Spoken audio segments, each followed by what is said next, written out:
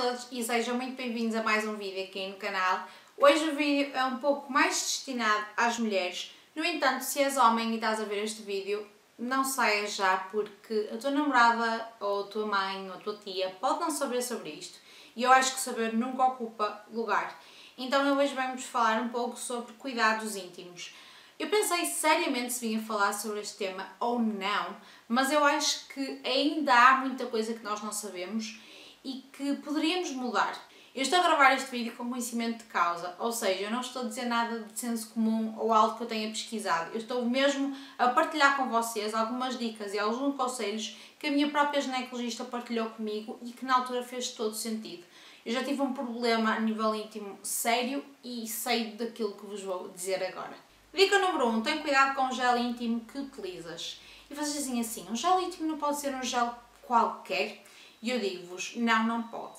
Todos os gel íntimos que vocês tenham, que tenham cheiro frutado, uh, floral, uh, gostoso, não é um gel íntimo de pH neutro. E vocês agora perguntam, porquê que um gel íntimo tem que ter um pH neutro? Então eu vou-vos explicar. A vagina naturalmente tem o corrimento e tudo que está à volta de pH neutro. O corrimento e os pelos são os principais protetores uh, e os que vão te impedir de ter fungos e bactérias e tudo aquilo que provoca doenças sexualmente transmissíveis, infecções, a candidíase, que é uma doença muito frequente entre as mulheres. Então, nós temos um, um inimigo muito próximo de nós, que é o Senhor Anos. E o Senhor Anos liberta fezes. E as fezes o que é que têm? Bactérias, fungos e etc. Então, nós temos que ter alguma coisa que nos proteja e é o corrimento e os pelos. Então, vocês quando fazem a higiene da vossa vagina, se utilizarem um gel de pH elevado, vai destabilizar todo o pH natural da vagina. Ou seja, vai fragilizar a vagina e vai dar mais possibilidade às bactérias e aos fungos de se implantarem lá. Portanto, o facto de vocês usarem um gel íntimo de pH neutro é outra proteção extra para vocês.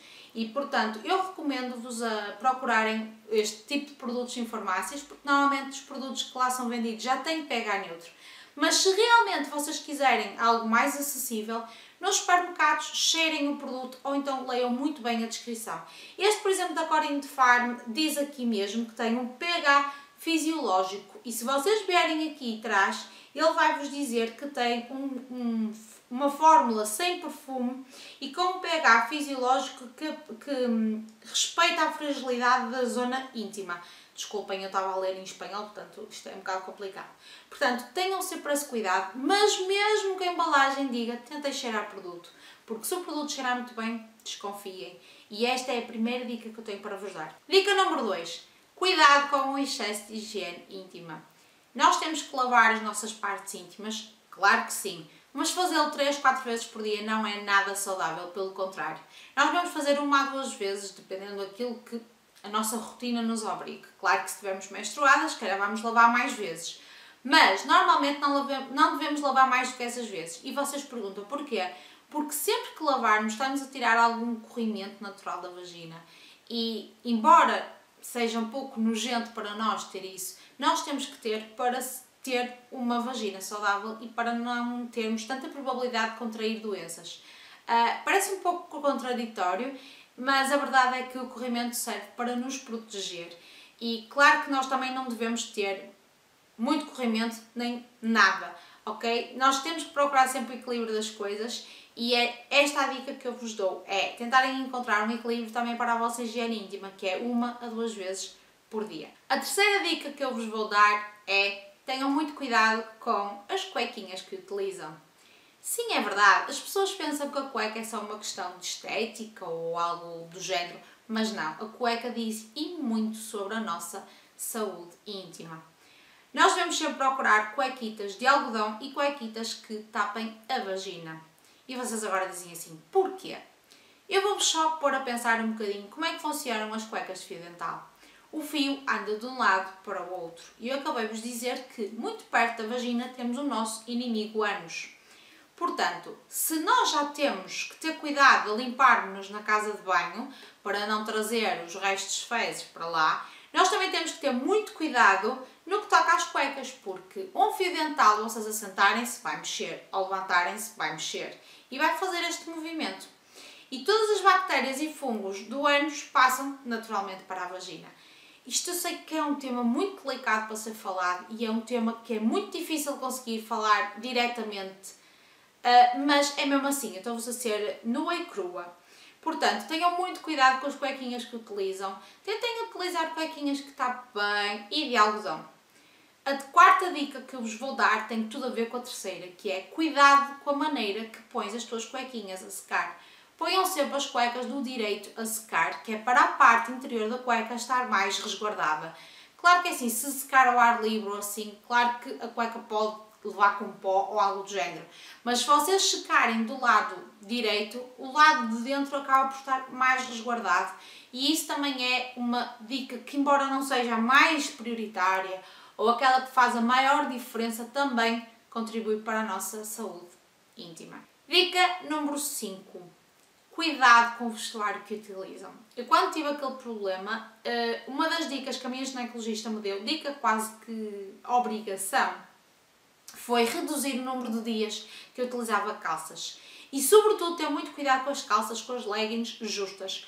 As leggings e as calças justas fazem com que a nossa vagina não consiga respirar tão bem. Então, uh, Normalmente as ginecologistas aconselham-nos a utilizar metade dos dias calça, metade dos dias saias ou vestidos, porque a saia e o vestido faz com que a vagina tenha mais aragem. Opa, eu não consigo falar de outra forma, desculpem, mas este vídeo está a ser complicado para mim gravar porque eu tenho que ser direta para vocês perceberem. E então, uma das coisas que às vezes ajuda imenso as mulheres sentirem-se melhor, com menos comichão, ou assim, é pura e simplesmente usar mais saias e vestidos e menos calças. E com isto vamos para a dica número 6, que é não usem roupa íntima durante o sono. Já sabíamos que o sutiã não é benéfico, mas as cuecas também não.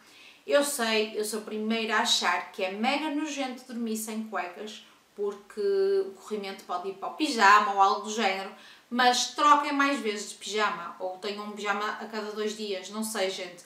Mas é algo muito importante para nós, é deixarmos a vagina respirar durante a noite. É mesmo muito, muito importante e muitas vezes consegue controlar e consegue dar a volta ao facto de nós usarmos calças justas durante todo o dia. Acreditem que vão, se têm muito corrimento, vão logo sentir uma diferença brutal, porque a vagina vai, vai produzir mais corrimento quanto mais ameaçada estiver. Isto parece, pá, mais uma vez, isto parece um bocado, mas a verdade é essa, gente. Se vocês deixarem a vagina respirar, vai ser outra dica de ouro. Sétima dica, e esta dica para algumas mulheres é mesmo muito complicado que é o penso diário. O penso diário é um veneno para nós mulheres. Pelo facto de que não deixa a vagina respirar. Nós temos um penso que está colado à vagina, colado, durante o dia todo.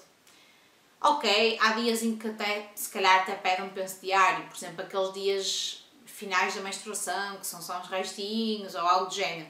Agora é assim, meninas, têm muito corrimento. Ai, vamos pôr um penso diário. Não, não, é pior.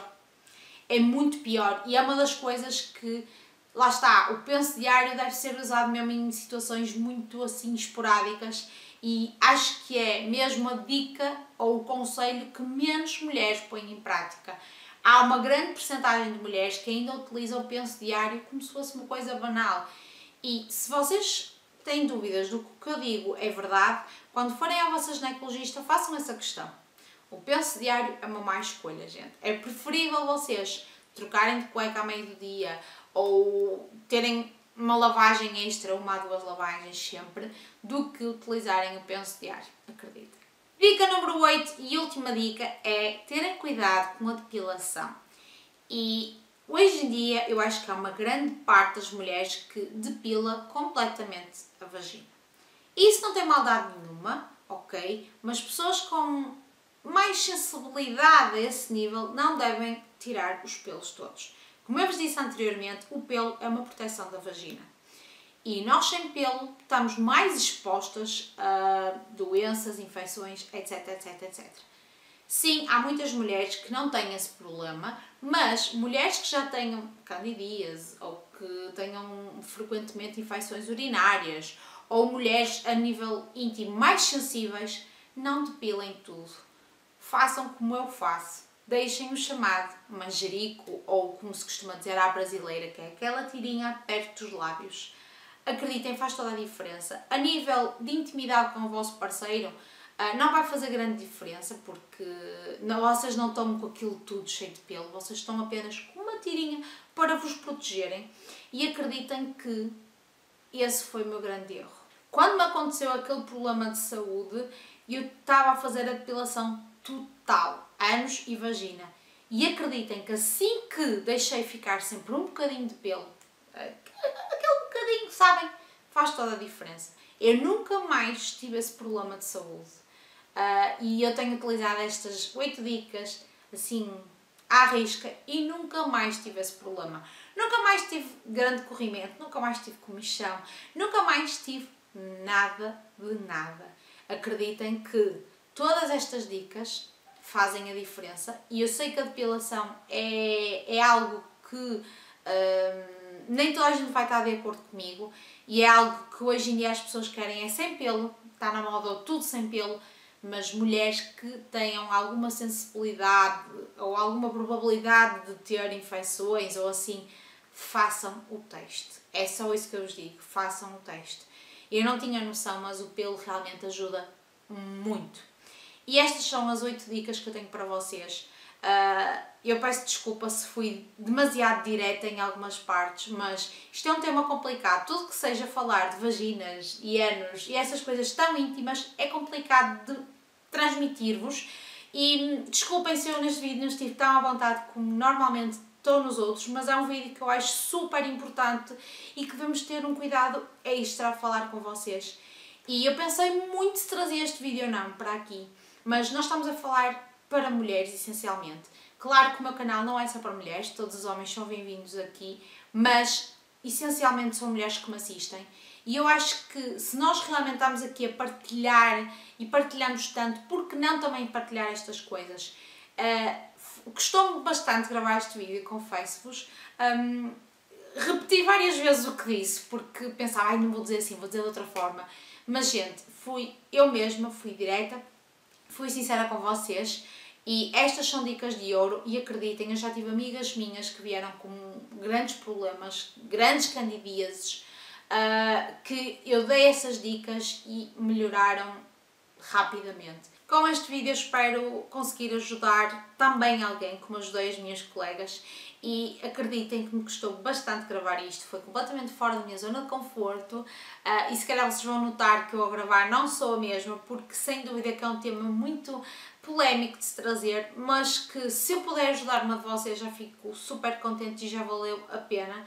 Uh, eu sei que é um tema mesmo muito complicado, mas eu espero que seja útil para vocês. Então, eu espero que vocês tenham gostado. Se vocês quiserem fazer alguma questão assim mais privada, tem no Facebook, podem lá comunicar comigo, porque eu acredito que vocês se calhar não estejam tão à vontade para falar aqui. Portanto, se vocês quiserem falar comigo por lá, estejam mais que à vontade, no que eu puder irei ajudar-vos. Eu espero muito que vocês tenham gostado deste vídeo, não vou dizer para pôr em gosto nem nada de gente, se vocês gostarem, ponham gosto ou falem comigo, porque este não é o típico vídeo que eu vos trago. Então, uma beijoca muito grande para todos vocês e espero mesmo, mesmo, mesmo que este vídeo vos ajude.